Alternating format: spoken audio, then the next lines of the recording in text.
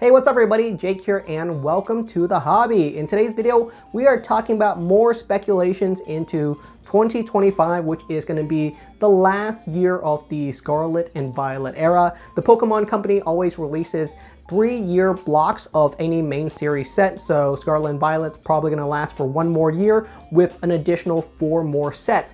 And the last block of any main series set is usually the most exciting, really. If you look at the Sun and Moon era, the last four sets included um, Team Up, to Cosmic Eclipse, which is absolutely bonkers. Those are some of the best sets from the Sun and Moon era. We have ourselves the Tag Team GX cards as well as Alt Art Pokemon cards arriving in that block. And if you look at the Sword and Shield era, the last four sets of Sword and Shield was Brilliant Stars to Lost Origin, which brought us Again, just a bunch of really cool cards like the Trainer Gallery cards and some of the best chase cards in all of Sword and Shield are in the last four sets. So for Scarlet and Violet, next year, the last four sets of Scarlet and Violet looks really, really insane. I'm so excited for next year because they're bringing all the stops. There's just so many gimmicks that are being thrown into next year and a lot of this is speculation, but some of it we are really nailing down. They're bringing back a bunch of really cool stuff. Owner Pokemon are making a return. Owner Pokemons have been around for quite a while. They've been gone for quite a bit,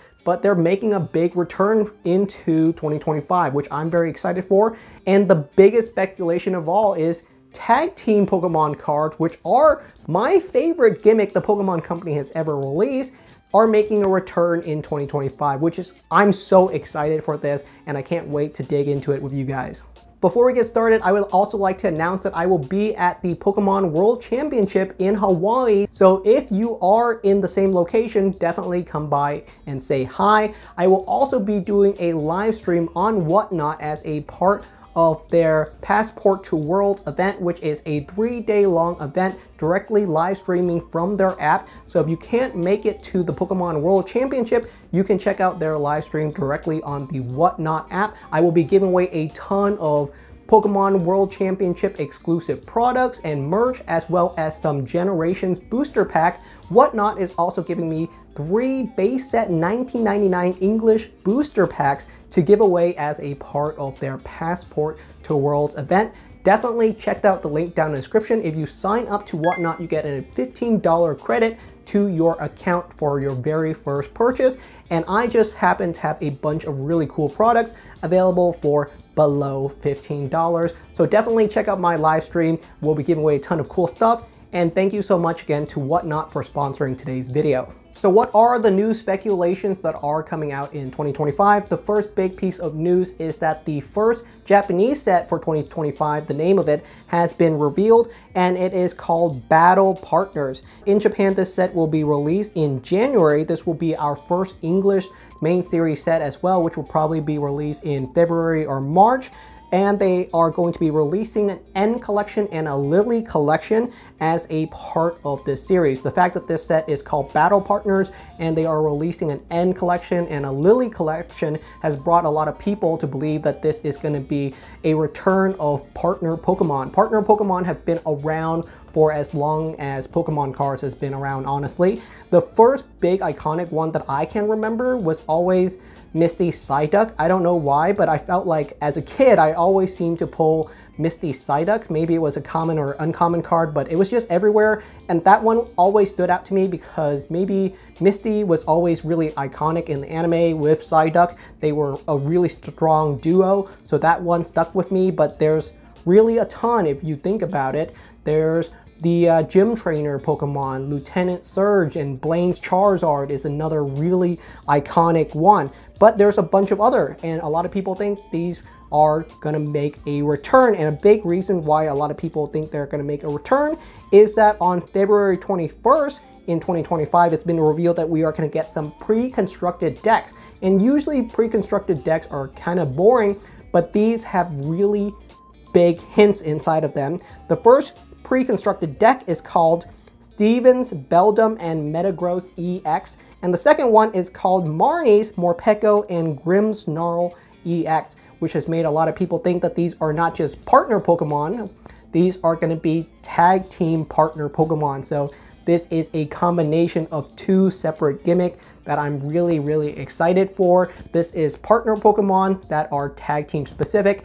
Uh, this is something that we've kind of seen in the past in just the last tag team era with the tag team GX cards. We've seen cards like the Reshiram and Zekrom tag team GX and that featured N on the card. And of course, we have the Solgaleo and Lunala GX, which also feature Lily on the card art. So these were kind of like pseudo trainer gallery cards because the fact that they were trainer specific Pokemon didn't really come up. Same with the trainer gallery cards. You could tell that these Pokemon were owned by a, a, specific trainer, like the Urshifu card, training with their trainer, something of that nature, but the trainer wasn't a part of the card. However, this brings up a really strong point, which was the uh, upcoming uh, Team Rocket specific set, which is the Glory of Team Rocket. A lot of people were speculating that it was going to be a return to Dark Pokemon, which I didn't believe it was the case. I'm cool with Dark Pokemon. I think if Dark Pokemon make a return, that's completely fine. I just think that in the current spirit of Pokemon and what they currently stand for, I don't think they would really make a return to Dark Pokemon. However, they may bring back Team Rocket owned Pokemon. So we've seen cards in the past like the uh, Team Rocket's Gyarados, and of course we have cards that are owned by other teams as well, like Team Magma and Team Aqua. So with the return of owner Pokemon, and we know that there's going to be a Team Rocket specific set that's going to be coming out next year, to me it makes total sense that we are going to see a return of uh, Team Rocket owner Pokemon, which I think there's just so much room for growth in this area in terms of the art style. You can see some really cool art design come down this line. We can see uh, Giovanni's Persian, you know, we can see a bunch of really cool trainers with their tag team Pokemon. Giovanni's Persian and Mewtwo. Imagine that. That would be a crazy combination. And of course, we do know that into the end of this year, into next year, we are getting our Eevee specific set. It's going to be releasing uh, in Japan in December, but it's going to be releasing in English sometime during the uh, first quarter of 2025, which might bring up the question of, well, are we going to get tag team Eevee cars? That would be absolutely insane. Imagine like an Umbreon and Espeon EX card. They might not do some of these combos, but it is still a cool concept. They could have all of the evolutions in one single card art. It's absolutely possible. They fit 25 Pikachu into the Pikachu V Union card, so the Pokemon Company can absolutely do some really crazy stuff. There's also the example of the uh, Suicune, Entei, and Raikou card, which is another card with a trio. And then we have the uh, Moltres, Zapdos, and Articuno tag team GX. So there's another example of a tag team GX trio. So there are examples of this. I really like the idea of trainer-owned Pokemon with the Tag Team EX. It makes total sense for some of these combos. The first two that they've announced is Beldum and Metagross EX, as well as Morpeko and Grimmsnarl EX.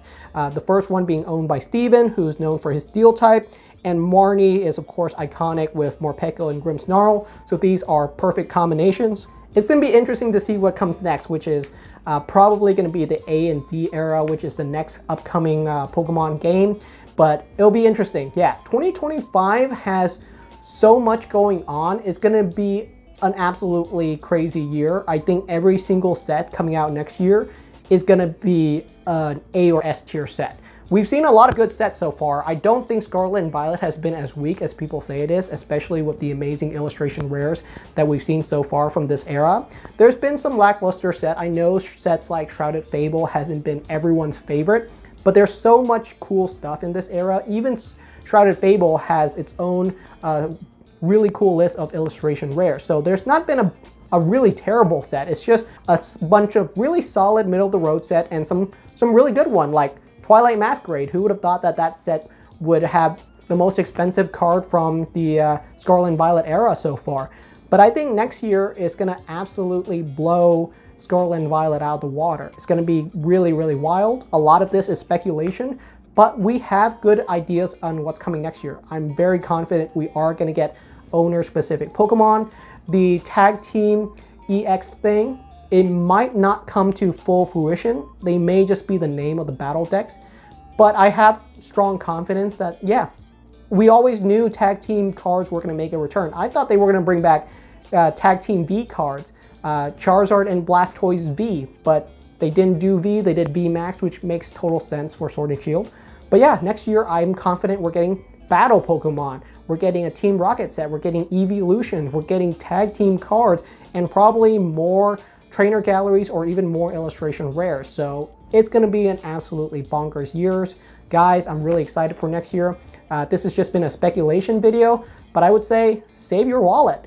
If you have anything that you want to collect, um, if you really want to pick it up, you can pick it up right now, but you might want to save your wallet for next year. So thank you so much for watching. Hope you guys enjoyed today's video, and I'll see you guys next time.